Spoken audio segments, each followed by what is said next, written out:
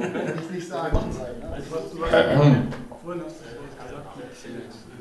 So, wir, wir machen weiter. Gucken wir mal, ob wir es jetzt schaffen, uns nicht zu verzetteln. ähm, Beantwortung, dass da in Bezug auf. das ist jetzt äh, ein, dann der dritte Block, wo wir dann jetzt wirklich über die Ursachen und Symptome und Probleme der Piraten reden. Und ähm, Ron hat eine These in den Raum gestellt, ähm, wir haben uns verzettelt. Haben wir eventuell das ein oder andere Mal schon an diesem, an diesem Tag live erleben können und ich übergebe das Wort an Ron. Ja, tatsächlich haben wir das jetzt äh, schon mitbekommen, wie wir das hier äh, live gemacht haben.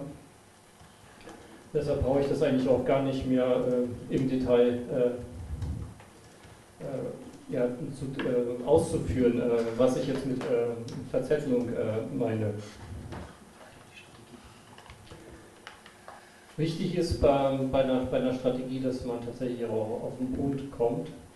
Und deshalb äh, wollen wir jetzt auch als, äh, bei, bei diesem ähm, Talk ähm, darüber sprechen, ähm, dass, äh, welche Probleme diese Partei hat.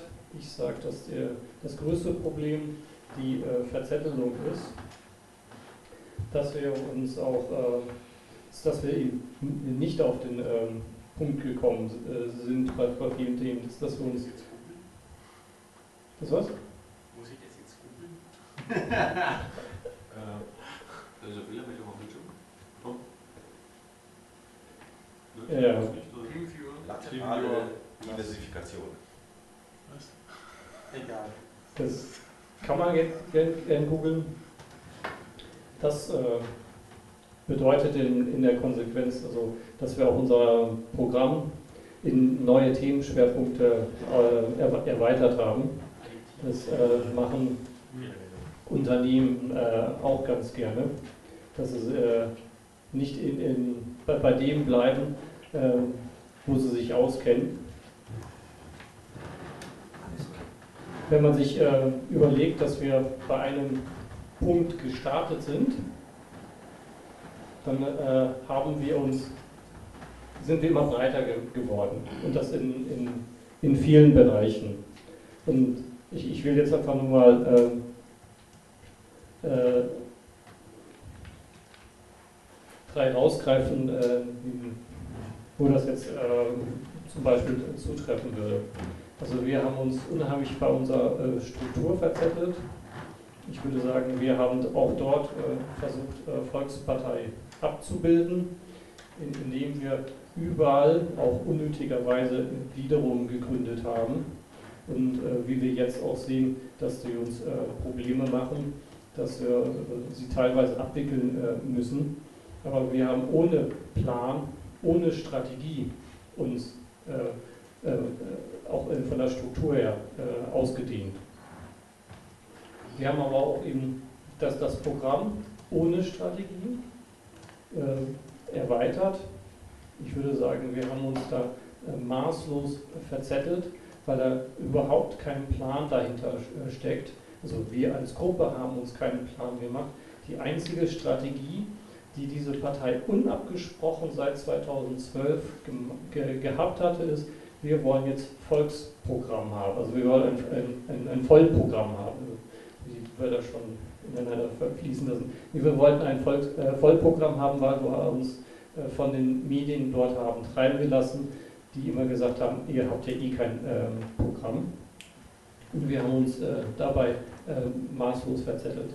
Wir verzetteln uns auch regelmäßig äh, bei der Kommunikation, weil wir dort einfach nicht auf den Punkt kommen. Wir sprechen ein Thema an und kommen dann vom Hundertstel ins Tausende und äh, verzetteln uns da eben maßlos. Und ich möchte euch, äh, bevor wir dann auch äh, wieder so ein bisschen äh, mit dem Verzetteln weitermachen, in die Diskussion einsteigen, ein, äh, ein Bild mitgeben. Also äh, stellt euch mal ein Restaurant vor. Mit unserem Stammtisch sind, sind wir ja auch oft genug in, in einem Restaurant. Privat werden wir auch äh, häufiger in einem Restaurant sein. Und äh, oftmals äh, hat, man, hat man das Problem, dass diese Restaurants nicht funktionieren Und dann sucht man sich vielleicht einen Berater. Und der Berater fragt dann, ja, was ist denn das Problem? Und dann kommt die Frage, ja, wir haben zu wenig Gäste. Jetzt stellen wir mal dieselbe Frage der Piratenpartei. Was ist denn das Problem der Piraten? Wir haben zu wenig Wähler. Oder ist das jetzt tatsächlich das Problem? Ich würde sagen, es ist ein Symptom. Das äh, Problem beim Restaurant, dass da zu wenig Gäste kommen, ist ja woanders zu suchen. Vielleicht ist der Koch ständig verliebt, benutzt zu viel Salz. Er hat vielleicht auch gar nicht ge gelernt äh, zu kochen oder äh, liegt es äh, an, an, der Bedienung, ähm, herrscht dort zu wenig äh, Gastfreundlichkeit oder äh, hat man äh, einfach eine viel zu dicke Speisekarte.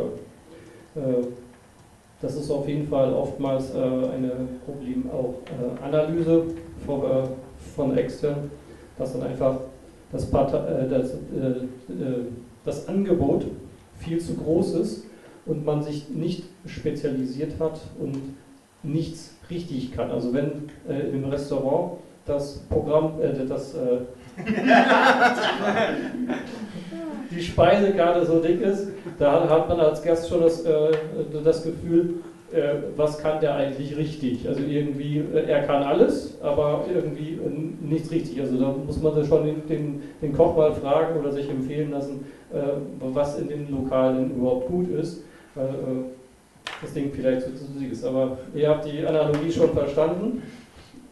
Die Piraten haben ein äh, viel zu dickes äh, Programm und der Wähler hat auch nicht mehr so das Gefühl, was können die eigentlich, was wollen sie eigentlich, weil äh, man hat überhaupt nicht mehr so das Gefühl darüber, was, äh, ähm, für was die ähm, Partei denn überhaupt äh, steht. Äh, wir haben auch ein bisschen ein Problem mit der, mit der Basisdemokratie, wenn wir nämlich ein Restaurant anschauen und da haben wir dann zehn Köche am Herd. Und äh, was durchaus auch in dem einen oder anderen äh, Restaurant passiert, dass es nicht jeden Tag der Küchenchef da ist. Und dann äh, kriegt der Kunde am nächsten Tag was anderes äh, äh, vorgesetzt. Heißt auch in der Speisekarte zwar das äh, genauso, aber schmeckt anders. Es ist nicht, ist nicht das gleiche Gericht. Bei den Piraten, die ja auch zu allem äh, eine Meinung haben wollen. Aber wenn man sie zu einem Thema fragt, kannst du zehn Piraten fragen und kriegst äh, 15 Meinungen, weil man auch nicht mit äh, einer Stimme äh, spricht. Also wir müssen hier ähm, bei, bei den Piraten auch schauen, wo ist das Symptom und wo ist tatsächlich ähm, das, äh, das, das Problem, was wir in dieser äh, Partei haben. Also was meines Erachtens äh, wir machen müssen, wir müssen uns fokussieren, wir müssen von der Verzettelung weg, wir müssen auf, auf den Punkt äh, wiederkommen. Deshalb jetzt erstmal von mir auch die These, dass wir uns verzettelt haben als größtes Problem, aber das dürfte nicht das einzige Problem sein. Und äh, deshalb würde ich äh, euch jetzt auch fragen, was glaubt ihr, was wirklich das größte Problem ist und versucht das dann ähm, herzuleiten, also zu begründen, äh, wenigstens auch, warum ihr glaubt, dass das Problem ist und versucht dann eben halt nicht Ursache mit Wirkung zu, zu, äh, zu verwechseln und dass wir nicht beim, äh, über das Symptom reden, sondern tatsächlich über das ähm, Problem.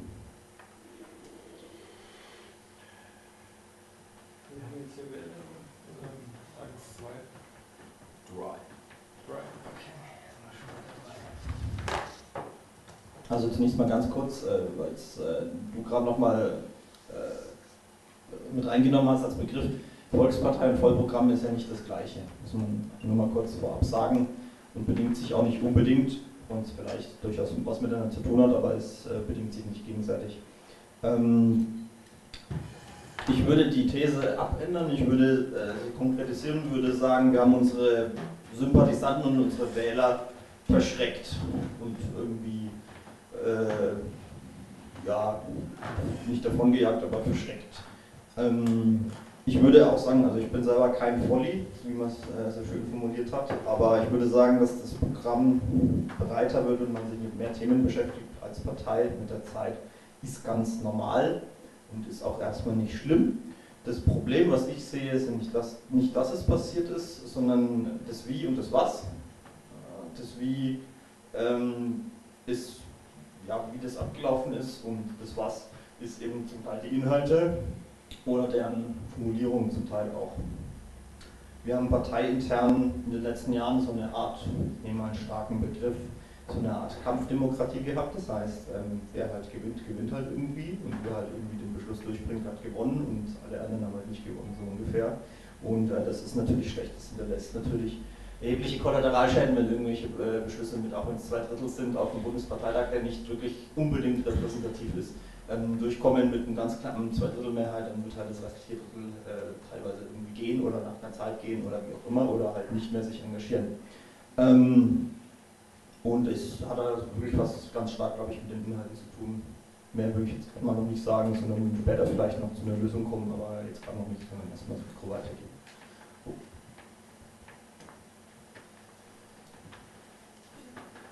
Der Ron ist das, glaube ich, gar nicht da. Äh, zum Ron wollte ich noch mal kurz sagen, diese kurze Zusammenfassung.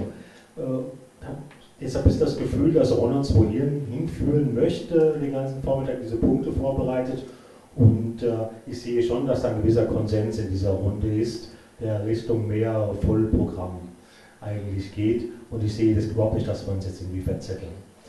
Die anderen Gründe, Warum wir jetzt eventuell nicht erfolgreich waren, sehe ich darin, dass wir, wie vorhin schon erwähnt wurde, der Pragmatismus fehlt. Also wir haben selbst diese Netzthemen, bestimmte Dinge einfach nicht mit dem notwendigen Pragmatismus vorgetragen.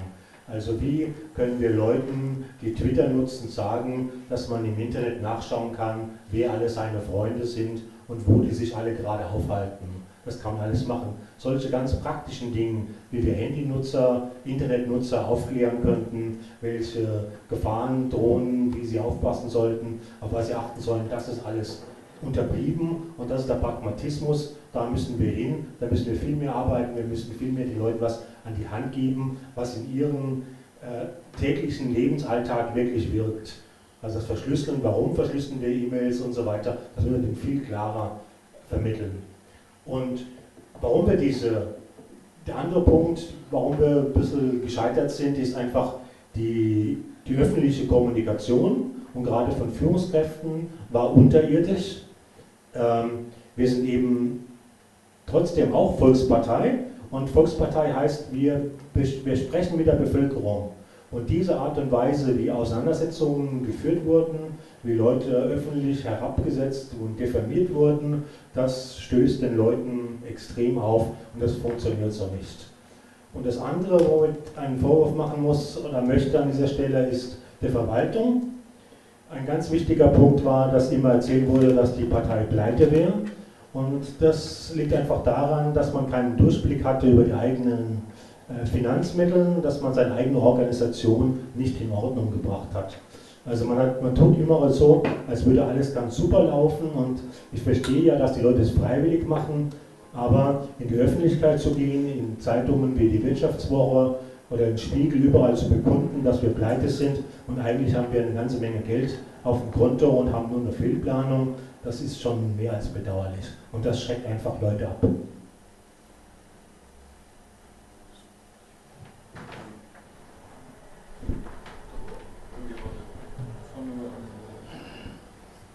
Ja, dann sage ich jetzt mal das böse A-Wort. Äh, die Antifa war schuld. Ähm, das ist natürlich verkürzt und stimmt so nicht.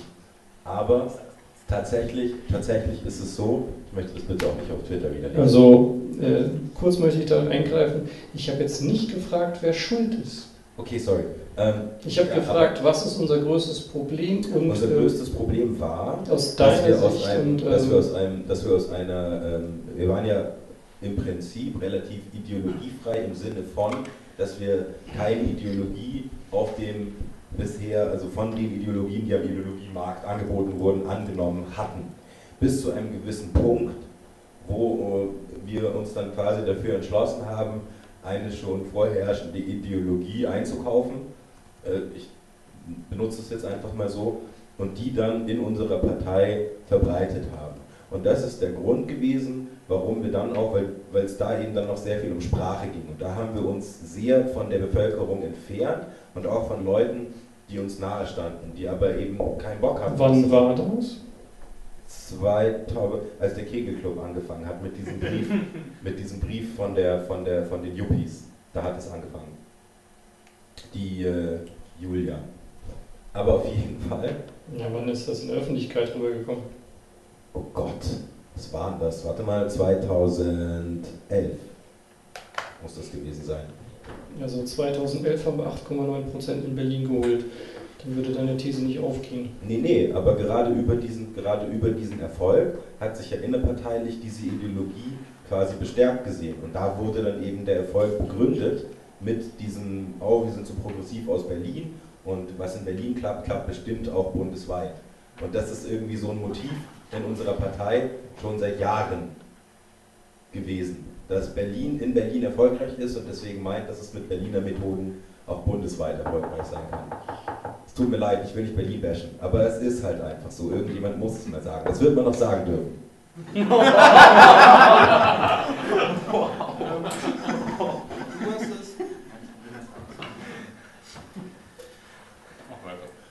Ähm, ich das größte Problem, das habe ich vorhin noch in der Pause kurz angesprochen, in dem Mangel an Qualität in der Arbeit. Und zwar sehe ich das auf vielen Ebenen wieder. Ich untersuche sowas immer.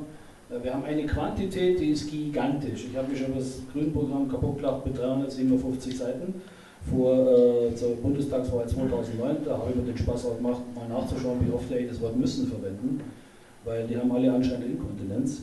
Äh, und das war so eine Analyse von mir. Und wir sind ja doppelt so stark, was unser Programm angeht. Und wenn ihr das alles lest, kann sich das Sau merken.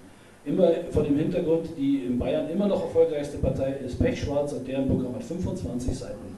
Und damit kann man offenbar äh, Leute finden, die einen wählen. Also, aber da, da steckt tatsächlich Qualität drin, davon bin ich überzeugt. Wenn man das liest, weiß man, was die wollen. Und das haben wir nicht. Wir haben das Problem mit dieser Kampfdemokratie angesprochen, das ist ein, typisches, ein typischer Mangel an Qualität, weil einfach keine Spielregeln da sind, nach denen so Sachen ausgetragen werden. Wir sind zu wenig pragmatisch, ein typischer Mangel an Qualität. Wir haben zu wenige äh, konkrete Angebote, wieder ein Mangel an Qualität. Schlechte negative Kommunikationskultur, wieder ein Qualitätsmangel. Also um Quantität kann es nicht gehen, auf keiner Ebene. Und äh, vorherrschende Ideologie eingekauft, harter Begriff, aber ich glaube, du meinst das Vakuum an Ideologie, das aus der Be Bewegung Piraten-Netzbewegung entsteht. Wenn Ich sage gar nicht, dass- ich sag doch gar nicht, dass das alles scheiße war. So, ja, ist ja schön, Nee, dass nee, die nee. Nazis aus der Partei gekannt haben. Äh, nein, äh, ich meine, in jeder politischen Partei wird man irgendwann feststellen, wenn ein, eine Bewegung Partei ist und Politik machen will, dann wird es in irgendeiner Form sowas wie Glaubenssätze und Ideologie geben. Stärker oder schwächer. Entsteht ein Vakuum oder besteht ein Vakuum, werden sich immer Menschen eingeladen fühlen, das auszufüllen, weil es diese Menschen eben gibt. Wir haben in der Mittagspause darüber geredet, äh, Political Engineering, da braucht es Leute, die Politik managen wollen. Die braucht man. Wenn die in der Netzgemeinde nicht zu finden sind, weil die Netzgemeinde anders tickt, dann trifft halt die Netzgemeinde leider auf eine harte Realität, nämlich dass es im, im, richtigen Leben halt so abgeht. Die, die unter Verträge unterschreiben, sind nun mal diese Leute, die äh, Engineering betreiben. Und zwar so, ist das Political Engineering, das Sonderfall von Social. Und das, glaube ich, das fehlt und das ist einfach ein Qualitätskriterium, das wir brauchen. Oder nutzen sollten. Ron, kannst du die nächste Folie nochmal einblenden? Weil du hast jetzt Ähm, Hm? Twitter. Noch eine Folie weiter. Die nächste ich bin Folie. ein Pirat, ich bin ein Außenseiter. Ich habe Ähm, kein Twitter. Thomas, ich stimme dir da in ganz vielen Sachen zu, ähm, deswegen würde ich da gar nicht mehr so viel dazu sagen. Ich sehe aber auch als unser größtes Problem, ähnlich wie auch Benjamin mit und auch was du so ein bisschen angesprochen hast, ähm, dass wir nie die Werte, für die wir als Piraten stehen, ausdefiniert haben. Genau. Geschweige denn, da, davon rede ich ja noch nicht. Man müsste erst mal definieren, damit wir es leben können. Ja, aber selbst da, wo wir behaupten, wir wären einig. Ron, kannst du bitte nochmal die letzte Genau. Folie hertun? Wir hatten vorhin noch eine andere Folie gehabt, wo mehrere Beispiele drauf standen. Wir haben uns verzettelt und dann gab es verschiedene Beispiele. Ich würde mich dann gerne darauf beziehen, um hier nicht den Fokus zu verlieren. Das Restaurant. Erstmal blättern. die Speisekarte und das Restaurant. Blättern in den Folien. Ich habe gerade eine ganz andere Präsentation. Kommunikation, literale Diversifikation, das was noch, drei Stück waren es. Genau, ich glaube, das eine Thema war Gründung von Gliederungen, ähm, keine zielgerichtete Programmentwicklung und äh, was war das, das dritte? Kommunikation war es. Kommunikation, okay. Also zum Thema, wir haben uns verzettelt. Ähm, verzettelt. Verzetteln kann man sich eigentlich nur, wenn man ähm, irgendwo klare Ziele definiert hat und dann irgendwo daneben liegt. Und das, was bei uns eigentlich passiert ist, war das einzige Ziel, was wir eben hatten und was auch die Erwartungshaltung war an uns, war, ähm, wir kommen in den Bundestag und wir holen 6,5 Prozent. Das war das strategische Ziel, glaube ich, bei der Bundestagswahl, 6,5 Prozent. Ähm, ansonsten, ähm, dass wir keine Gliederungen gründen sollen oder dass wir das Programm nicht äh, einfach erweitern sollen, ähm, da muss man sagen, das haben wir eben so überhaupt nicht beschlossen gehabt. Da gab es eigentlich nicht wirklich irgendwelche Zielsetzungen, wie das Programm erweitert werden soll. Ähm, es gab auch keine Zielsetzung, ob es, äh, dass keine Gliederung gegründet werden soll. Insofern kann man sich da auch nicht verzetteln. Was ich glaube, ähm, was ganz wichtig ist, ist, wir haben in der Piratenpartei eine Macherkultur und es gibt das piratige Mandat und ähm, wir haben auch gesagt, wir sind eben nicht hierarchisch strukturiert wie andere Parteien, wo es eine Parteizentrale gibt oder den Vorsitzenden Helmut Kohl. Und wenn ihm irgendwas nicht passt, ruft er irgendwo an und sagt, dann hör mal zu. Also der aus Niederbayern, ja, also äh, äh, das geht ja gar nicht oder so, ja. Das wollten wir halt genau nicht. Und dann sind wir eben als Schwarm losgelaufen und da laufen eben nicht immer alle in die, in die gleiche Richtung. Wir haben Gliederungen gegründet, die man ja auch braucht. Du brauchst ja Leute, die an der Basis Wahlkampf machen, die Plakate aufstellen, die den Stand in der Fußgängerzone haben und dazu haben wir Gliederungen gegründet. Ja? Und äh, das Programm haben wir halt entwickelt, so wie das halt die AGs halt wollten. Jeder kann Anträge stellen. Das war halt Basis, ein Basisprozess, ein Bottom-up-Prozess. Ähm, was uns vielleicht gefehlt hat, wären halt vielleicht Leitplanken oder irgendwelche Vorgaben gewesen von einem Bundesvorstand. Da muss man sagen, die Leute waren in der Situation, die waren das erste Mal im Vorstand und hatten jetzt natürlich das Problem, kriegen sie die Akzeptanz der Basis, wenn sie zu hierarchisch irgendwas vorgeben, ähm, dann sind sie in der Kritik. Ich glaube, dass wir einfach, ähm, ich würde das noch gar nicht so bewerten, dass es jetzt alles eine große Katastrophe ist. Ähm, wir haben aber ein Problem in der, in der Kultur, ähm, in der Zusammenarbeit, in der, in der, in der Partei. Und ähm, das, können wir, das können wir nur lösen durch mehr Socializing und durch mehr ähm, Gespräche. Wir können viele Konflikte, die auch emotional sind, also Konflikte sind immer emotional, die können wir nur das Netz nicht auflösen. Und dafür müssen wir eben einfach mehr ähm, Treffen machen, mehr Veranstaltungen machen, mehr Socializing betreiben.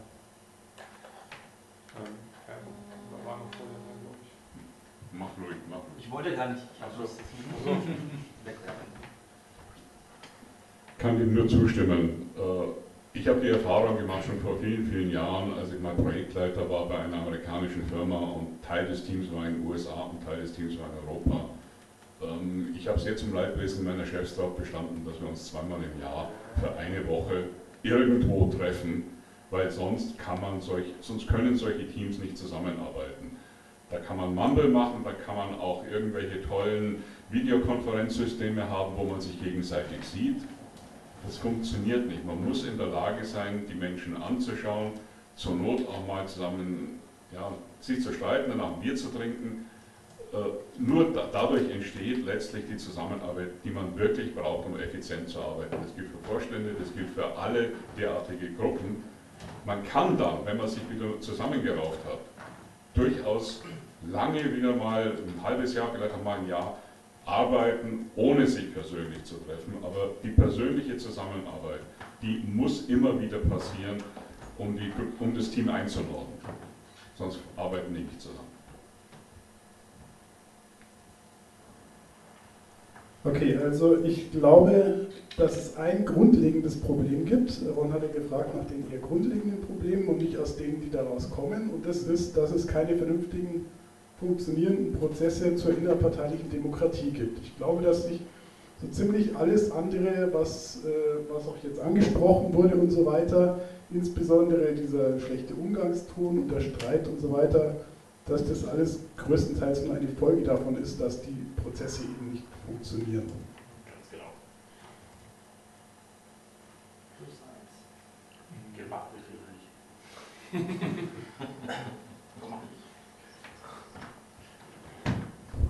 Also ich, möchte noch, äh, ich möchte nämlich noch eine andere These hinterfragen, und zwar ob der Erfolg und der Niedergang ähm, der Piraten irgendwas mit unserem Parteiprogramm zu tun hat. Ich glaube es nämlich nicht, weil ich glaube auch eine große Fehlentschätzung war eigentlich dieses äh, Instrument Parteiprogramm. Ähm, das interessiert 95 Prozent der Wähler nicht. Ähm, ich habe mir gern dann Gedanken gemacht, äh, wozu braucht man eigentlich ein Parteiprogramm? Also ich denke, das Parteiprogramm ist eigentlich intern für die Partei viel wichtiger als extern weil nach außen hin interessiert es niemanden. Sondern es geht darum, wie sich die Gruppen dann zusammenfinden, welches Ziel sie haben und welches Image sie dann äh, nach außen äh, verbreiten. Und ähm, ob jetzt äh, diese, diese Kommunikation mit den schlecht abgebildeten äh, demokratischen Strukturen zu tun hat, weiß ich nicht, dem folge ich jetzt erst einmal nicht. Also äh, sagen wir so, ähm, ich denke, dadurch, dass äh, am Anfang oder äh, so 2011, 2012 viele in die Partei äh, geströmt sind und da vielleicht ihre Programmpunkte nicht umsetzen konnten, beziehungsweise viele diese allgemeine Richtung der Partei nicht gepasst haben, kann es schon sein, dass wenn sie sich nicht auf einem äh, Parteitag aussprechen, könnten das dann halt äh, äh, über Twitter über direkte Angriffe machen. Aber ich denke, das, was dann halt verheerend war, ist, dass dieses Bild äh, nach außen getragen worden ist. Und dieses Bild hat, glaube ich, äh, eigentlich uns viel mehr äh, zu, schaffen, äh, zu schaffen gemacht, als ob wir jetzt äh, eine, einen guten Programmpunkt zum Thema Anbindung äh, Münchner Flughafen haben. Das interessiert keinen, sondern es war einfach äh, die bringen es ja nicht mal fertig, sich äh, intern zu äh, strukturieren und äh, da vernünftig ähm, miteinander umzugehen. Wie sollen wir die wählen? Dann explodieren ja quasi unsere, unsere Parlamente auch. Ich, ich denke, das ist äh, eines der, der Kernpunkte, wo wir uns eigentlich äh, verzettelt haben, mit der Wirkung unseres Programms und mit unserer Außenwirkung generell. Ja, nur ganz kurz zum Thema Relevanz der Programme. Ich denke, die Programme, egal welche, sind Ausfluss, sind Ausfluss von dem, was da so passiert. Insofern auch ein Symptom, so wie es Ron formuliert hat, von dem, von dem her natürlich äh, äh, im Zusammenhang zu sehen mit dem, was er, glaube ich, gut definiert hat, dass wir Probleme mit unserer innerparteilichen Demokratie haben, mit den Abläufen, mit den Prozessen dort. Von dem her hatte schon einen Zusammenhang mit den Programmen, weil die Programme ja der Ausfluss, also ein Symptom von dem ganzen Problem sind. Ich nehme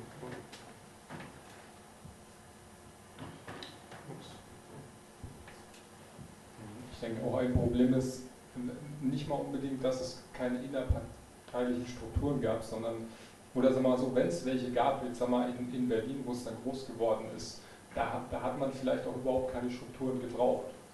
Für Berlin haben die informellen Strukturen gereicht. Das ist, ein, das äh, ist kein Flächenstaat, das ist ein kleiner Raum, man läuft sich oft über den Weg. Genauso kann man sagen, die Sachen, die in Berlin funktionieren, funktionieren jetzt nicht unbedingt in Bayern.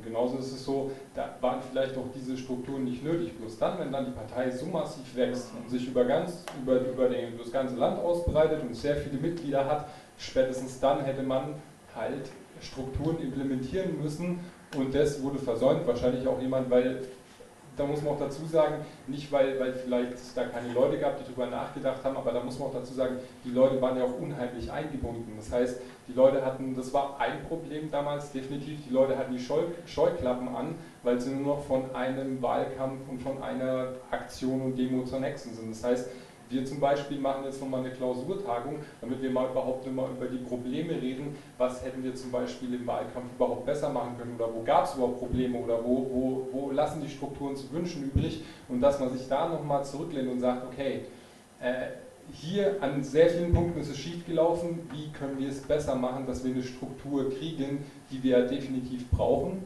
weil ohne ist es anscheinend nicht zu wuppen. Ähm, und ich denke, das ist eigentlich ein Hauptproblem. Es gab keine Strukturen und wenn es welche gab, haben die dem Ansturm an Mitgliedern und der Ausbreitung die Fläche einfach nicht stattgehalten. Und dieses, wenn man sich, wenn man mal ganz salopp gesagt bei dem Bier drüber redet, kann man viele, viele Konflikte vermeiden und viel Klarheit schaffen. So, bloß wenn halt einer in Hamburg wohnt und der andere in München, dann ist es halt erstmal schwer machbar. So, vor allem, weil die meisten machen das ja auch freiwillig und haben auch vielleicht nicht die Zeit oder das Geld oder beides, sich da mal zusammenzutreffen. Wie man das dann über, ob man das dann in Strukturen einbinden kann, dass dann trotzdem eine Zusammenarbeit möglich ist, darauf habe ich dann keine Antwort. Aber irgendwas muss daher, sonst wird es nicht gut. Da möchte ich darauf antworten. Ähm, Also diese Frage habe ich schon 2013 auf der Marina Kassel beantwortet und das Konzept dazu ist der Leuchtturm. Ähm, findet man wahrscheinlich im Internet. Ähm, dieses, dieses grundlegende Problem ist, glaube ich, echt, dass wir nicht eine Piratenpartei haben, sondern 17, nämlich die 16 Landesparteien und den Bundesverband.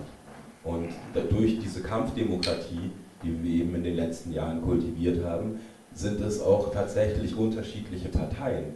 Und das ist, das ist quasi des Pudels Kern. Wir haben keine, ähm, wir haben keine zentrale, zumindest nennen wir es Strategieeinheit oder, oder was auch immer, beziehungsweise informell existiert es schon. Es gibt einzelne Individuen und auch kleinere Gruppen, die äh, einen relativen Überblick haben über ihre persönliche Vernetzung, was in den einzelnen Landesverbänden so vor sich geht.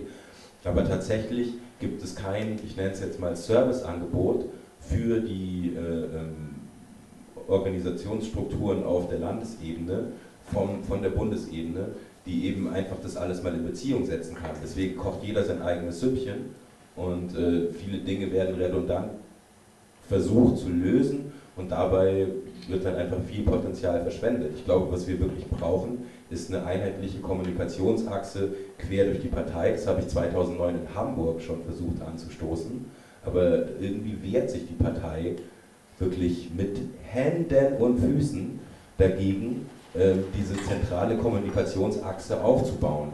Es braucht einfach wirklich ähm, so etwas wie, also und jetzt weniger als immer nur, also mehr als nur diese, diese LAFO-Treffen und sonst irgendwas. Es braucht ein institutionalisiertes, ähm, nennen wir es mal einfach Beobachtungsinstrument über den Gesamtzustand der Partei. Ich will es gar nicht Kontroll- oder Steuerungsinstrument nennen.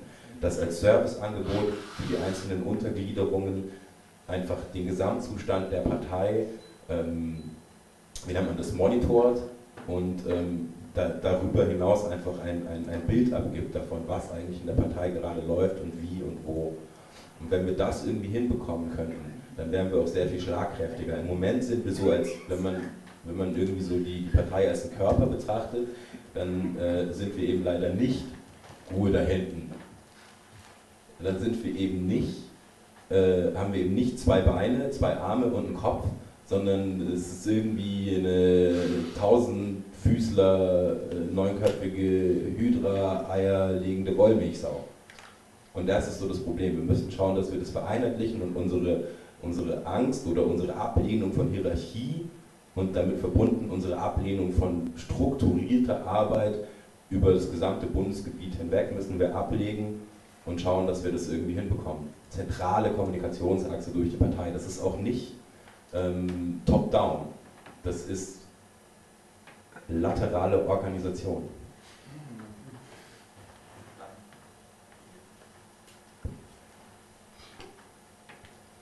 Also was du gerade ansprichst, äh, da will ich vielleicht einfach mal ein bisschen drauf, drauf eingehen, äh, gar nicht unbedingt was zu kritisieren, um einfach mal zu reflektieren, wie, was mir dazu so einfällt. Ähm, was wir zum Beispiel haben, ist, ähm, wir haben die AGs und die SGs und wir haben eine Koordinatorenkonferenz, ähm, wo ähm, durchaus, sage ich mal, Strukturen da sind in der Partei, die sich selber ausgebildet haben.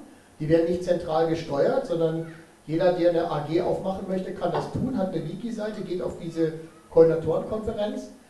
Ähm, und ähm, damit sind, sind, sind in dem Sinne diese, diese Strukturen ähm, schon irgendwo vorhanden. Ich Wo ist das Problem? Da muss ich, da muss das, das, da das, also das, das, das quasi auch nicht so, so genau, ich versuche es nochmal zu reflektieren, es, es gibt die Koordinatorenkonferenz, es gibt innerparteiliche Strukturen, die sind nicht in der Satzung verankert. Ja, wo ist jetzt das Problem? Wir sind jetzt gerade bei der Problemanalyse, du wolltest jetzt gerade rechtfertigen, dass Ja. alles super ist. Nee, es ist nicht, es ist nicht alles super. Ja, dann- dann sag was, äh, dass das, das aus deiner Perspektive Ich glaube das nicht, dass größte die, Problem ist. Ich glaube nicht, dass, das, dass der Mangel an Struktur kausalursächlich ist für die momentane Krise. Weil wer Nee, strukturiert nicht arbeiten sagen, will, kann was, tun. was nicht, sondern was. Ja. Ähm, ja, ich wollte auch noch sagen, ähm, Benjamin, ich glaube, du hast einen Lösungsvorschlag für ein Problem äh, vorgeschlagen, wo wir uns noch nicht mal darüber einig sind, ob es überhaupt das äh, Kernproblem ist. Ähm, da ist irgendjemand anders dran? Oder kann ich Äh, er ist noch dran, aber. Ähm, Kannst gerne erste Antwort. Kurz. Okay. Äh, redundante Strukturen sind redundant. Wir können uns keine Redundanz erlauben, weil wir zu wenig Personal haben. Okay. Gut. Das ist ein Problem. Wenn sehr viel von dem, was ich jetzt gehört habe, kann man zusammenfassen in wir haben keine Strategie oder wir kannten sie nicht. Wenn, wenn sie irgendwo existiert hat, wusste keiner davon, dass sie da ist. Und äh, das ist dann auch schlecht, äh, denn der Herr Clausewitz hat definiert, Strategie ist die Planung eines Krieges auf der Ebene, welche Gefechte führe ich und wann. Taktik ist dann, wie führe ich die einzelnen Gefechte. Und das ist das, was wir, ich meine, deswegen sitzen wir alle hier, wir brauchen eine Strategie, in der drin steht, wo wollen wir uns auf welchen Feldern mit den anderen messen? Wo sind wir zuversichtlich, dass wir gewinnen können? Also deine These, dass wir keine Strategie haben. Ja. In der Wirtschaftspolitik.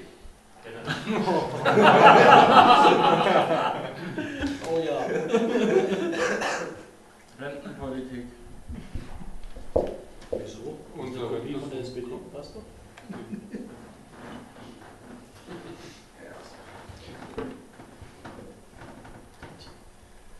Also ich wollte noch mal sagen, äh, es ist bei Kindern mit vier oder fünf Jahren so, dass sie mal ihre Umwelt reflektieren und Bilder malen können, in denen sie selber sind. Und das erste Ziel, das wir machen sollten, ist, dass die Piraten mal selber ein Bild malen sollten, dass sie sich mal in einem Bild sehen mit der Realität, in der sie gerne leben möchten, damit sie überhaupt wissen, äh, nach was sie überhaupt streben. Wie, wie lautet das als Problem? Das waren aber eigentlich die ersten beiden Tagesordnungspunkte heute. Also gut, dann. Äh,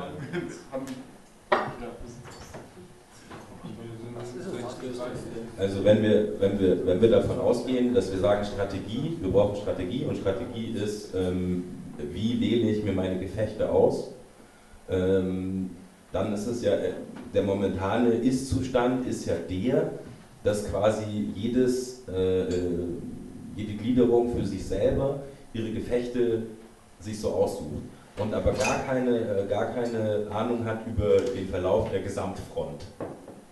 Sogar jedes Mitglied. Sogar jedes Mitglied. Genau. Und deshalb, deshalb ist es eben wichtig, dass man, dass man schaut, dass man zwar schon, also dieses, dieses Bottom-up-Prinzip ist ja der eine Weg. Und der, die, die Top-Down-Struktur, die ich jetzt quasi gerade vorschlage, ist ja keine Weisungsstruktur, sondern ist mehr sowas wie, ähm, wir geben euch eine Minimap, auf der ihr euch eure, eure, auf der ihr den Frontverlauf sehen könnt. So. Und wo ihr euch überlegen könnt, wo macht es Sinn, Energie reinzustecken mit den begrenzten Ressourcen, die ich habe? Wo gibt es ich Energieeffekte gerade anderen sagen, Leuten? das ist jetzt kein Problem, sondern du ähm, schlägst äh, eine, eine Lösung vor. Wir haben uns aber noch nicht darüber geeinigt, ob, dein, ob das unser Problem ist. Deshalb, wir wir wollen jetzt über Du, ich sage Probleme sprechen. so lange, bis dann, ich sage, ich, ich beharre einfach so lange darauf, dass es ein Problem ist, bis wir alle eingesehen haben, dass es eins ist. Das Problem ist okay. Das ist das was Du strebst deine Karriere in der CSU an. Trainierst ja nur. Thomas, keine persönlichen Beleidigungen. Ähm, ja, was mir noch fehlt, ist die Tatsache, was ist denn das Ziel? Bei so einer Strategie gehört ein Ziel. Also, wir können hier einen Haufen Schlachten in Lothringen planen und in Elsass und vielleicht die Einnahme von Verdun und eigentlich wollten wir Russland erobern. Ja, wie scheiße Idee. Darf ich? Ja, die Frage ist nicht, wie wir das Problem lösen. Die ich- Frage ist, was Ich war jetzt auch mal den, den Versuch hier, ähm, ein ein Problem zu skizzieren. Ähm, stelle jetzt einfach mal die These auf, ähm, es ist nicht richtig, ähm, dass es keine Strategie gab. Ähm, es gab nicht die eine Strategie, es gab eben einfach mehrere Strategien. Denn wenn, ähm, sage ich mal, ähm, anders als in anderen Parteien, nicht von der Parteiführung gewissermaßen zentral eine Strategie vorgegeben wird, dann bilden sich eben in einzelnen, ähm, in einzelnen Ländern oder in einzelnen Klicken, ähm, sage ich mal, Flügel, Parteiflügel oder Gruppierungen halt heraus, die ihre eigenen Strategien entwickeln, die dann aber nicht kongruent zueinander passen. Das Ganze ist aber für viele Leute in der Partei halt nicht wirklich sichtbar. Ja, du, was du ansprichst, ist, glaube ich, diese Dinge sichtbar zu machen, damit sie transparent sind für alle. Ähm, mein Beispiel, wir haben jetzt, ähm, glaube ich, in der, bei der Europawahl halt erlebt, dass da ein Bundesvorstand gewählt wurde und auf einmal ähm, die Partei ähm, äh, ganz, ganz komisch in eine bestimmte äh, Ecke drohte abzudriften. Äh, das war vielen Leuten bei der Wahl vielleicht nicht so klar. Hinterher zeigt sich, dass es da offenbar ein Netzwerk gibt von, von Leuten, die politisch in eine bestimmte Richtung arbeiten. Die hatten auch definitiv eine Strategie. Die hatten eine Strategie, ihre Kandidaten auf die Liste zu bringen. Die hatten eine Strategie, bestimmte Agendas zu setzen. Das heißt, es gab da schon Strategien. Das heißt, Hast du dafür Belege? Weil sonst ist es nur einfach eine Behauptung. Ja, ich habe dafür Belege. Ähm, es gibt sehr wohl, ähm, also meine These ist, es gibt sehr wohl Strategien von einzelnen Interessengruppen in der Partei, von einzelnen Netzwerken, von einzelnen politischen Gruppierungen in der Partei, die aber ähm, äh, häufig auch mit erhebender Agenda arbeiten und es ist eben nicht für alle sichtbar. Und äh, diese Konflikte, die äh, brechen dann eben äh, irgendwann auf und das passiert, ähm, dass es nicht sichtbar ist, ist eben so, ähm, in der Partei wie der CDU gibt es die Zentrale, da gibt es klare Vorgaben für alle. Bei den Piraten gibt es das eben nicht. Das heißt, bei den Piraten ist es auch schwierig, sich vielleicht in der Partei zurechtzufinden, weil keiner sagt dir, was du tun sollst. Auch deswegen, weil der, weil der Bundesvorstand sich auch nicht immer einig gewesen ist. Ähm, deswegen ein Vorstand, der sich nicht einig wird, kann natürlich auch nicht sagen, das ist unsere Strategie. Er vermeidet dann halt Aussagen, die, ähm, äh, wo es zu Streit kommt im Ergebnis steht die Basis dann halt ohne eine klare Vorgabe da, beziehungsweise ähm, jeder ähm, hängt dann in irgendwelchen Gruppierungen drin und läuft da irgendwie mit. Das ist jetzt ein Versuch von mir. Ich meine, dass das möglicherweise ein Problem ist. Vielleicht kann jeder mal sagen, wie er das empfunden hat. Ich wollte nur sagen, äh, eines dieser Probleme ist, ist dem, es gibt viele persönliche Strategien, dass Leute persönliche Ziele verfolgen. Und das hat eben mit dem Gesamtbild nicht zusammengepasst, dass die Partei insgesamt sagt, sie hat eine Strategie, wo sie gerne hin möchte.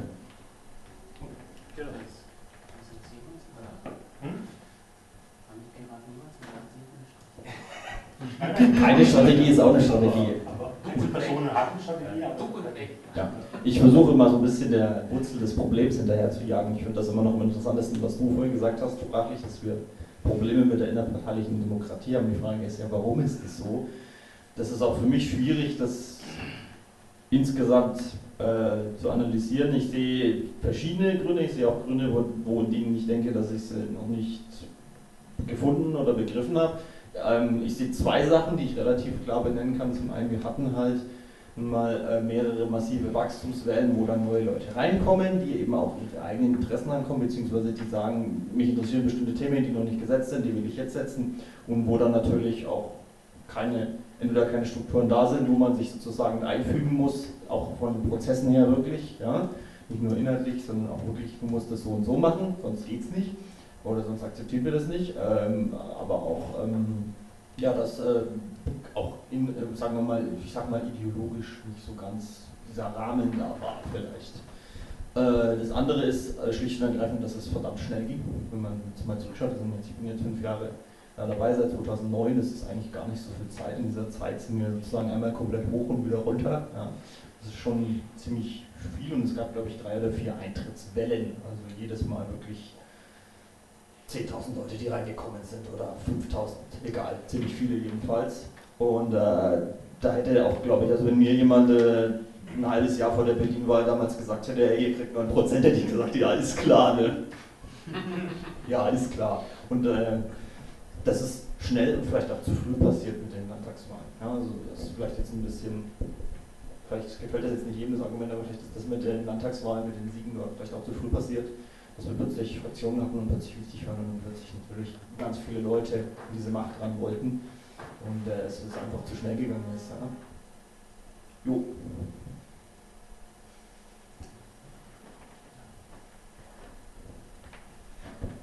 Ja, nochmal zu dem, was Jens gesagt hat, ich sehe das auch teilweise sehr ähnlich. Wir haben ähm, ein Problem, dass wir eben unsere Werte nicht klar herausgearbeitet haben. Ich sage jetzt nicht, dass wir sie definieren müssen, weil die gibt es ja schon irgendwo, wir müssen sie nur klar kommunizieren. Wir haben das auch nicht an alle Mitglieder weitergetragen.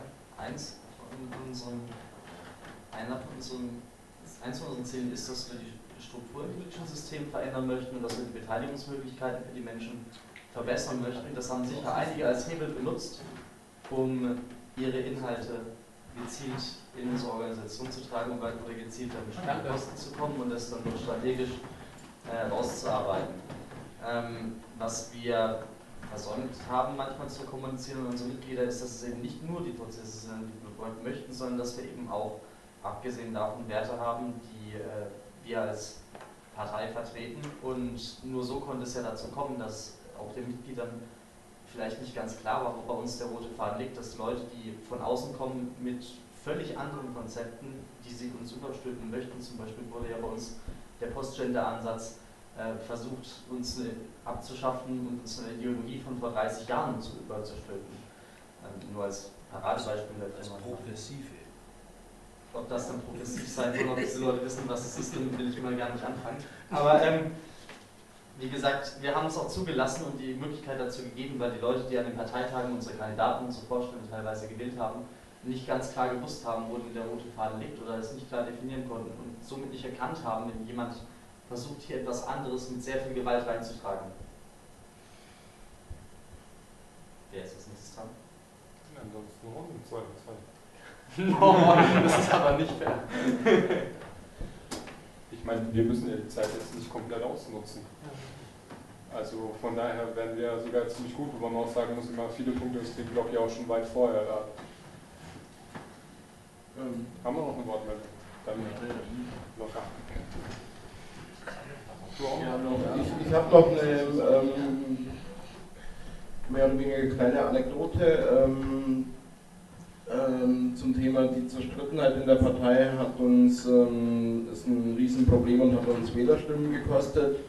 Ähm, ich habe neulich einen Artikel vom 1.7.2011 gefunden bei der Taz, Klarmachen zum Kentern Einst als hoffnungsvoller Newcomer gestartet, treibt sich die Piratenpartei inzwischen intern auf. Umfragen sehen die Datenschutzverfechter inzwischen bei 3%, doch die Mitglieder glauben an den Einzug ins Abgeordnetenhaus.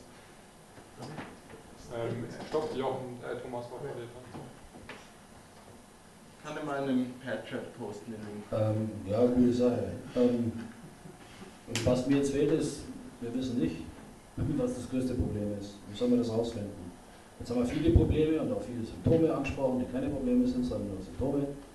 Aber wir wissen jetzt nicht, was ist das größte Problem. Ich glaube, darauf sollten wir uns konzentrieren, was von diesen Dingen am schwersten wiegt. Habe ich gut gesagt. Der Bundesparteitag ist das größte Problem. genau. Das ist wie die Ehe. Was ist das größte Problem an der Ehe? Dass es gibt ganz kurz, ich, ich wollte noch auf das eingehen, ähm, was jetzt hier ge ge gesagt wurde. Und zwar ähm, geht es da eben um das Thema äh, Zerstrittenheit. Ich glaube, der Punkt ist eben, ähm, wir sind in 2011 ins Abgeordnetenhaus eingezogen und sind dann einfach erfolgreich gewesen. Das heißt aber nicht, dass wir uns an der Stelle alle einig waren.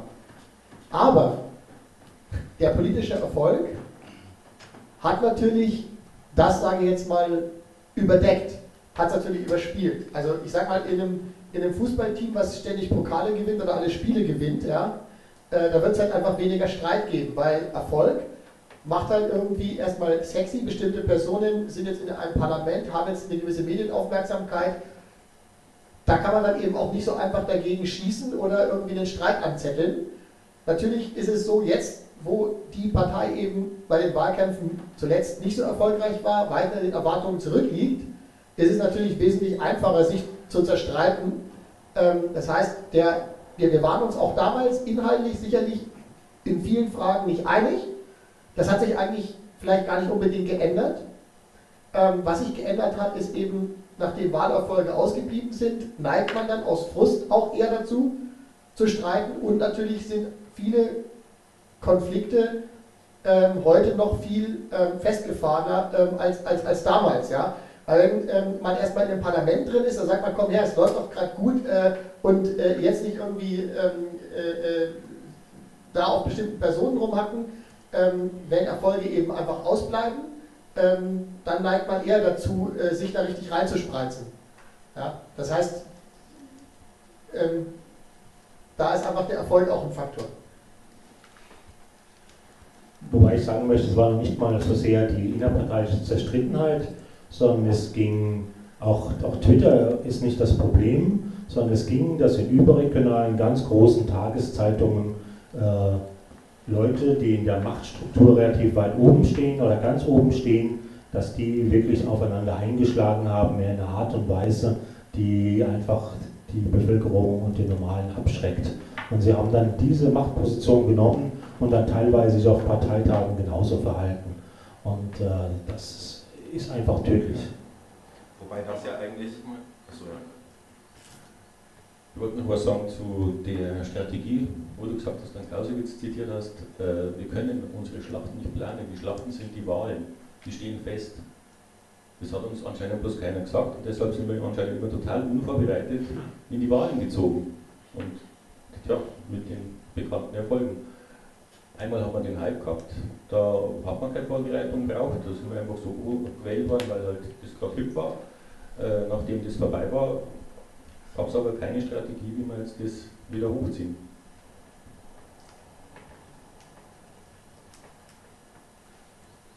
Die Wahlen sind schon wichtige Termine, aber die Schlachten werden vor den Wahlen geschlagen und wir können entscheiden, auf welche Gefechte wir uns einlassen, um mal in der Terminologie von Clausewitz zu bleiben. Wo wir, mit wem, mit welchen Themen wir antreten wollen. Und das ist ein ganz wichtiger Punkt. Und ein anderer Punkt, den ich, ein Gedanken, den ich jetzt eigentlich noch bringen wollte, das ist, ich habe ja gesagt, die Strategie hat gefehlt. Es ist dann, es gab zu viele Strategien, aber das waren ja keine Parteistrategien, die es gab, sondern das waren persönliche Strategien und Strategien von Interessengruppen. Und wir hätten nicht alle davon verhindern können, aber ich bin sicher, wenn wir eine Parteistrategie gehabt hätten, wären einige davon unmöglich gewesen und wir wären wesentlich besser dastanden. Da habe ich jetzt auch noch mal ganz kurz was zu dem, was, ich weiß leider deinen Namen gerade nicht, Matthias. Zu dem, was der Matthias gesagt hat. Also das stimmt ja schon, dass das die Leute quasi verschreckt hat, wie, wie quasi unser Spitzenpersonal miteinander umgeht. Jetzt ist allerdings die Frage, warum eigentlich? Weil die haben sich ja eigentlich nur genommen wie normale Menschen. Also das, nur ja, also es gibt schon, also es gibt natürlich in gewissen, in gewissen Gesellschaftsschichten würde man so vielleicht nicht mit Konflikten umgehen, aber ähm, klare Worte gehören doch schon auch zur Konfliktkultur, auch in diesem Land. Aber nicht persönliche Verletzungen und Herabsetzung in dieser Form. Gut, ich meine, da könnte man vielleicht noch sagen, unser Problem ist die Transparenz und das bei uns das meiste dann nach außen getragen wird. So einer anderen Partei, äh, da, da wird es dann halt im Hinterzimmer oder im Konvent abgearbeitet, da kriegt es von außen keiner mit oder vielleicht mal so äh, wie aus vertraulichen Quellen. Aber ich meine, äh, man kann sich auch mal den äh, Schäuble angucken, wie er mal vor laufender Kamera jemanden abfertigt, wenn er mal die Kopien nicht ausgeteilt hat. Und wie die Kritik darauf war. Das würde ich jetzt gar nicht beurteilen. Ich habe Kritik da dann auch nicht interessiert.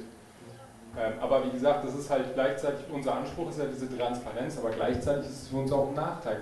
Manchmal, wenn man, wenn man jetzt, ich, ich bin jetzt da 30, ich tue es nicht unbedingt vorzugen, aber manchmal muss man halt natürlich, kühlen das halt im Hinterzimmer dann aus.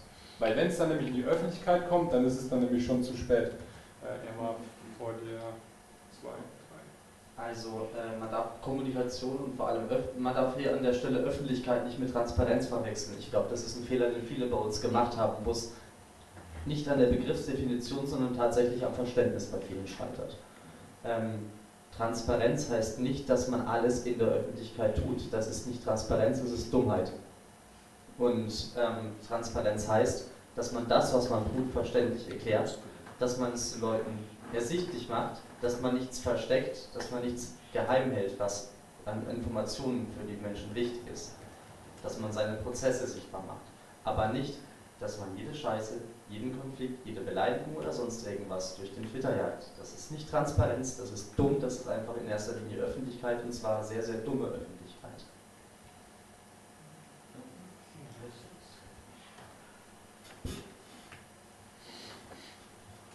Ja, nachdem der Schäuble seinen Untergebenen da so abgekanzelt hat und äh, öffentlich bloßgestellt hat, ist der natürlich zurückgetreten. Und genau das passiert bei uns letzten Endes auch. Das war aber auch keine Transparenz bei Schäuble in dem Fall. Nein, das hat mit dem nichts zu tun. Es geht dann einfach. Das, ja, ja. ist ersetzt worden. Hat, oder versetzt, ja. Auf jeden Fall äh, reagieren wir entsprechend ähnlich. Wenn wir Leute diskreditieren, herabsetzen, dann ja, müssen wir es auch ersetzen.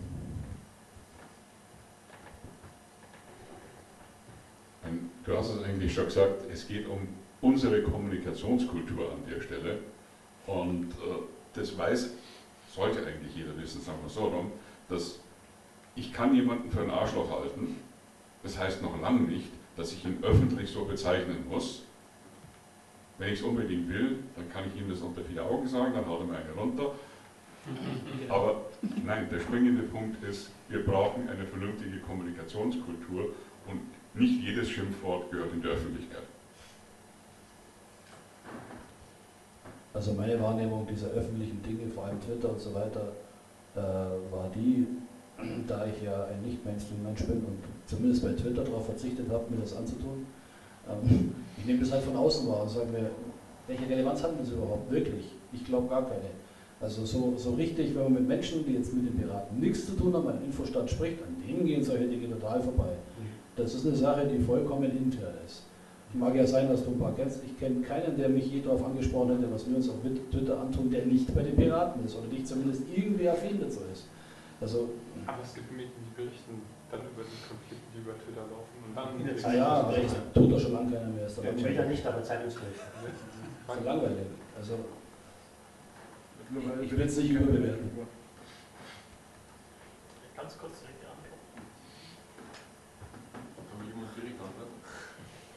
Kurz, was willst du denn sagen? Zensur!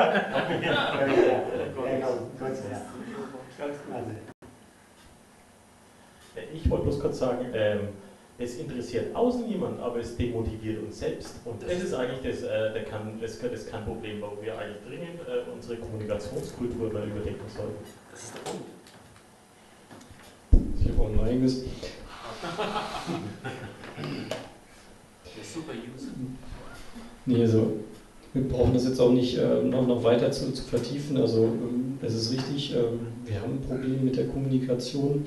Äh, ich fragte natürlich auch noch nach dem Hauptproblem, was wir tatsächlich haben. Ich sehe es nicht so, dass es für, äh, für extern wirklich ein Hauptproblem ist. Das, deshalb war, war der Einwand äh, völlig richtig und äh, war gut, dass es uns selber demotiviert, weil ihr das, was ich wahrnehme, ist, dass diese Partei seit äh, mindestens einem, eineinhalb Jahre in einer tiefen Depression steckt. Also für mich ist das ein großes Problem, dass diese Partei depressiv ist. Und wir müssen aus dieser Depression auch wieder rauskommen. Also wir brauchen eine, eine Perspektive, wie wir wieder Erfolge haben, die uns aus dieser Depression wieder rausbringen. Diese negative Kommunikation, die wir machen, führen uns eher wieder tiefer in die Depression. Natürlich auch, wenn wir auf, äh, auf einen Punkt wie eine Landtagswahl jetzt in Sachsen, Brandenburg oder Thüringen äh, zuarbeiten und viele Parteimitglieder dort aufgerieben äh, werden und es bleibt der Erfolg aus oder unter den Erwartungen das führt äh, die, die, Piraten vor Ort noch tiefer in die Depression. Also das finde ich ist im Moment ein, ein, großes Problem dieser Partei, dass wir in einer tiefen Depression stecken, wobei das auch ähm, durchaus auch ähm, ein Symptom ist, dass wir in einer Depression stecken, aber das äh, äh, kann man da nicht ganz klar machen, ob das jetzt äh, schon Symptom äh, Ursache ist. Auf jeden Fall äh, ne-, äh, nehme ich das wahr, dass wir in einer Depression äh, stecken und da müssen wir rauskommen.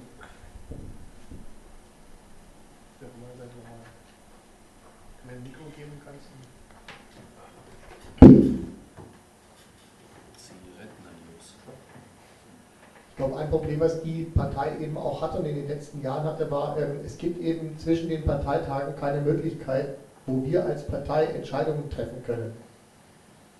Ähm, das ist auch schon früh erkannt worden und ähm, es ist dann eben als, als Lösungsmöglichkeit eben Liquid Feedback angeschafft worden.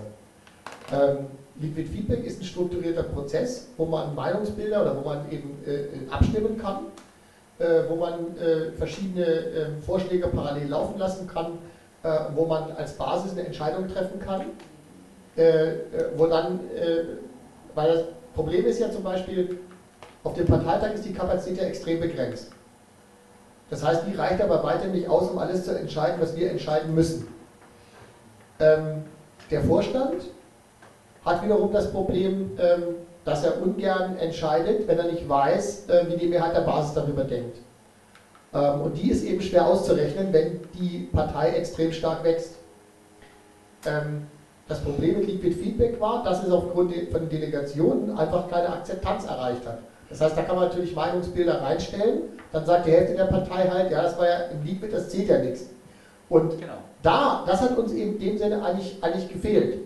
Äh, denn dann äh, ist es so, dass effektiv irgendwie irgendwelche Leute machen, andere können das kritisieren und dann entsteht, auch der, entsteht natürlich auch ein Streit, weil wenn ich es nicht über eine Abstimmung lösen kann, über Mehrheiten, weil ich diese klare Entscheidung nicht habe, dann muss ich es eben irgendwie anders tun und ähm, dann wird es emotional und dann äh, äh werden Leute halt auf Twitter wild. Ja, vielleicht ist da irgendwo ein Ursache-Wirkungszusammenhang, ich glaube, wenn wir einen Prozess haben, wo wir Meinungen ganz klar äh, abfragen können, äh, Stimmungen abfragen können, sagen können, will die Partei dies, will die Partei dies nicht, ja, ähm, äh, das würde eben einfach vieles lösen. Aber wenn ich sage, okay, der Vorschlag hat 88% Zustimmung bekommen, alle haben sich dort beteiligt und das wird akzeptiert, dann ist natürlich auch der, die, die, ähm, das Potenzial dann dementsprechend drauf rumzutrollen oder zu äh, Stress zu machen halt geringer. Weil man sagen kann, hier ist ganz, kann man ganz klar den Grad der Zustimmung messen. Das hat uns eben gefehlt, weil Liebig keine Akzeptanz hatte und dadurch ist sehr viel verbale Gewalt entstanden. So, möchte jemand was sagen dazu? Eine Sache vielleicht noch. Ja. das, was der Jens gesehen hat, habe ich auch gesehen. Äh, mir hat das Liquid auch genervt, weil ich plötzlich festgestellt habe, da gibt es Delegationen und Superdelegationen und sonst was und dann hat das für mich mit dem demokratischen Meinungsbildungsprozess nichts mehr zu tun, weil ich nicht mehr weiß, wer wie stimmt, sondern es macht halt einer irgendwie. Und das war auch meiner Meinung nach der Grund, warum es gescheitert ist. Wir haben innerhalb unseres Kreisverbands allerdings äh, mit Leimservice sowas gemacht. Und da hat sich dann mir eigentlich die Frage gestellt, habe ich jetzt, wenn ich jetzt weiß, ich habe ungefähr 80 Leute in dem Kreisverband, und wir hatten mehrere Landservice und wir hatten immer so Beteiligung von 20, 22 Leuten. Jetzt ist die Frage, ist es die Beteiligung so schlecht oder sind es 22 tatsächliche Mitglieder und die anderen, die sind halt vergessen worden, aus der Kartei zu streichen. Da bin ich noch auf dem Weg, das rauszufinden. Ich glaube, das Zweite ist der Fall. Was heute jetzt noch äh, nicht gefallen ist, was wir auf dem Landesparteitag ja auch als äh, Problem schon äh, herausgearbeitet hatten oder was mehrmals angesprochen wurde, ist, dass wir, dass wir einen fehlenden Markenkern haben. Also das, wofür wir wahrgenommen werden von den Wählern, von der Öffentlichkeit, nicht das, was wir unbedingt äh, für gerade das drängendste Problem äh, halten, sondern was die Wähler äh, so direkt aus der Pistole geschossen sagen würden, Dafür stehen die Piraten nämlich.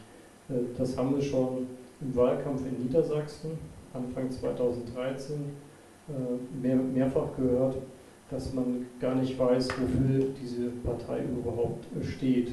Also der Partei fehlt ein klaren Fokus, ein klarer Markenkern. Das hat jetzt nichts mit Kerni Volli zu tun, sondern der klare Markenkern, wofür die Partei steht was, was die Ziele dieser Partei sind, warum soll, soll man diese Partei wählen. In, in letzter Zeit war es ja nur noch so, äh, eher das Ziel der Partei ist, in den Landtag oder in den Bundestag. Und der Wähler hat äh, die, die Begründung dafür schlichtweg gefehlt. Und dann sieht wir, ja, wir müssen halt einfach in die Parlamente, damit wir was ändern können. Und das ist irgendwie beim, beim Wähler ist das nicht ganz aufgegangen. Früher haben wir für Ziele gekämpft und wollten dafür dann die Zustimmung des Wählers. Und mittlerweile geht es uns ja nur noch darum, um, äh, um Karriere zu machen. Ähm, sowieso ist die Wahrnehmung zumindest von außen. Also ähm, der Markenkern ist für mich eins auch der, der, wichtigen Punkte, die wir rausarbeiten müssen, den wir auch äh, klar kommunizieren äh, müssen. Weil wenn es der Wähler nicht weiß, wofür wir stehen, haben wir als Partei einfach ein Problem.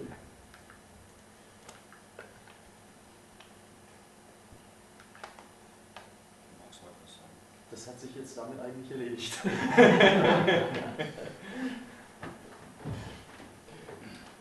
Wenn jetzt nicht äh, direkt jemand äh, aufspringt und sagt, er muss jetzt unbedingt jetzt noch äh, was, was, was ergänzen, was wir an äh, großen Problemen haben, dann äh, äh, war das jetzt quasi das Schlusswort, dass wir ein Problem mit unserem Markenkern haben, dass wir keinen Markenkern haben. Ähm, sonst würden wir dann diesen ähm, Top schließen und äh, dann zum nächsten Top überleiten. Davor haben wir natürlich wieder eine, eine kurze Pause. Der nächste Top äh, wäre dann die These, ohne Strategie kein Erfolg. Und äh, wir haben das ja vorhin schon gehört, äh, dass äh, wir entweder viele Strategien oder gar keine Strategien haben. Meine These ist, dass wir eine Strategie brauchen und und ohne eine klare Strategie der Gesamtpartei haben wir keine Erfolge. Und da würden wir dann gerne im vierten Punkt nochmal drüber sprechen. Wir brauchen eine Strategie. Und äh, genau.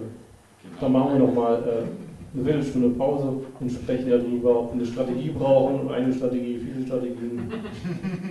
Besteht keine Verbindung zum Internet.